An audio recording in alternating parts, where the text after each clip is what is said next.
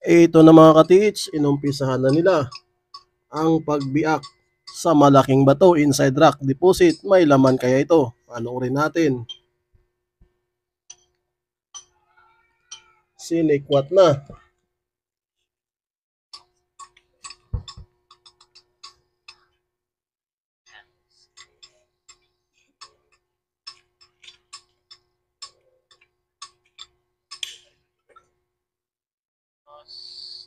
May, may laman kaya ito mga ka-teach?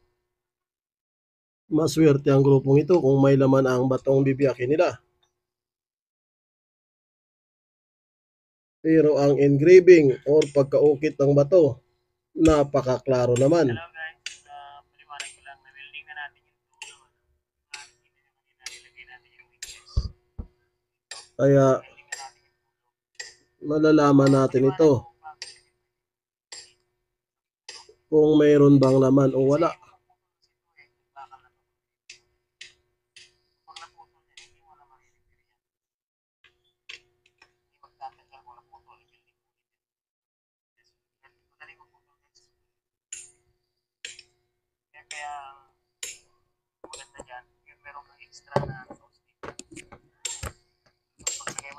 Tatsagaan talaga ito mga ka-teach.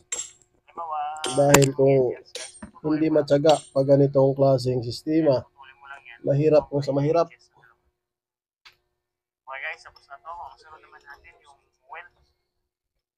Bro, yung tulad na yung piniliwanag ko sa inyo kanina na Hindi na nakatutlo ka itong pulley ng truck, pinakakapal, Bro. sa ilalim. doon. Ating nga yan, tuluktot siya. So, itubig natin, biwildingin mo kabilaan dito. So, tapos tukikin mo siya ng maso para ma-straight siya. Bago siya umpisa grind at tutulisin mo. So, ang tutulisin mo guys, ganyan lang, gawin mong pagkakantos. Kailangan mahaba yung talim niya. So, yung talim niya mga 2 inches. Magsimula ka dito, lagat na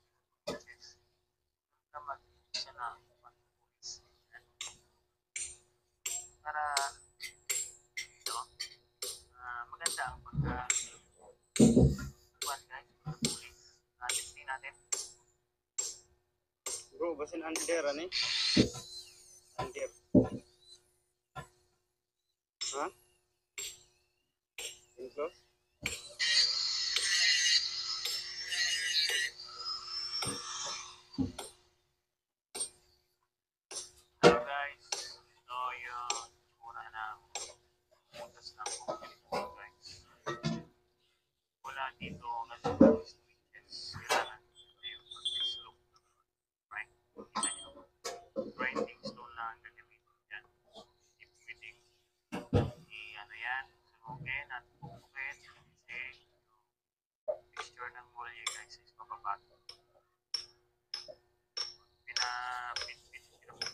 Yan, ginagawa mo yan sa pagdayan.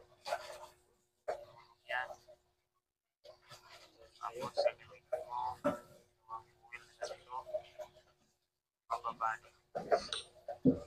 Ito guys, paliwanag ko sa inyo pagpupul ko guys. Matalim yan. Pag ah, ginagamit mo sa ito nga yung molye na trap na susunod. Labas lang yan kapal niya siguro mga 1 inch. Tapos uh, one by one ang uh, kaya ganito guys. Kapal kasi para hindi siya mag-bend pag pinalo mo. So, tigas talaga siya. Kung yung manipis mag-bend yun, yung makapal na ang tatandaan. Ito ang sekreto. Ito ang sekreto kung paano ito ang sekreto kung paano basagin. Hindi kailangan mag ang mga matitigas na bagay. Pag pag pinupupulot, matigat pa, pag mabigat na maso, ginamitan mo ng malalaking maso, mo ang matitigas na bagay. Ito ay pinupulot lamang ng mas, maso. Gamitan mo lang ito ng maso na yung number 10 na mga gagamitin. Para mabutas mo ang concrete. Okay guys, sana napagbigay ako ng kunting kaalaman sa inyo. Mga ka-PH. Para, wow. Nakita ko, ano, parang hindi siya pumasok lahat eh. Pwede na kaya? Okay, ano natin guys? Subukan natin. Natin muna. Para makita niyo kami. Ayan o.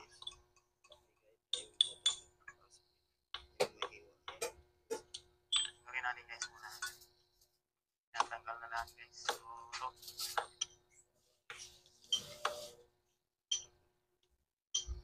Ayan o.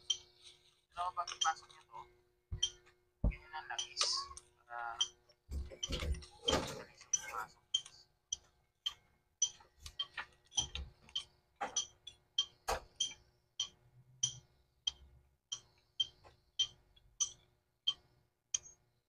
Ayan. Itong parte na to guys, katingan pa natin. Ito yung makating natin, yung ating ginagamit natin kanina na maliit na kating split na natin na mas malaki. Picture ni mo bro. Pasar ni mo. Okay. Tingnan natin guys.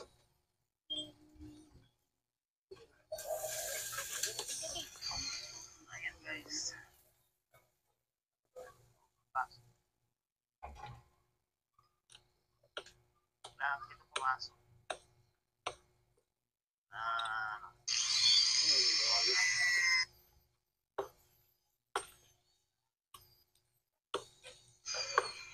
okay guys, pasok na natin. Subukan natin pasok.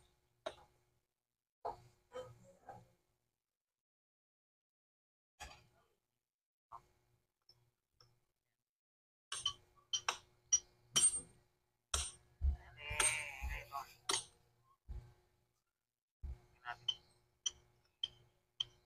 Tingnan natin.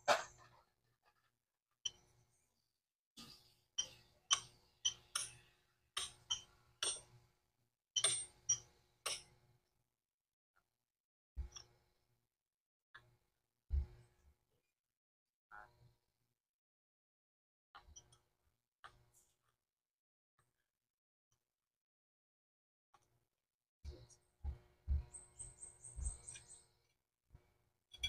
Ayan guys. Ayan.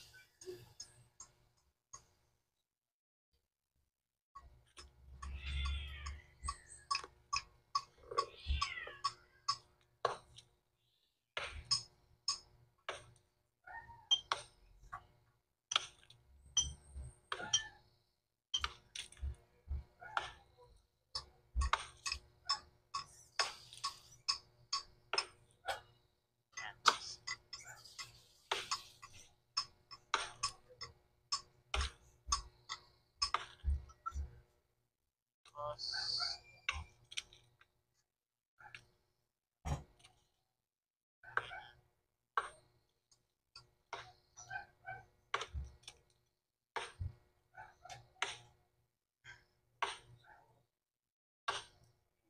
Hello guys, uh, paliwanag ko lang, na-welding na natin yung dulo, ano. Di ba nakita nyo kanina, nilagay natin yung witches.